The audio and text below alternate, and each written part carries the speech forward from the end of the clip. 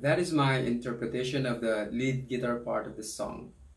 If you are interested to get yourself a copy of the tablature or tab, check it out at pianoteclado.com.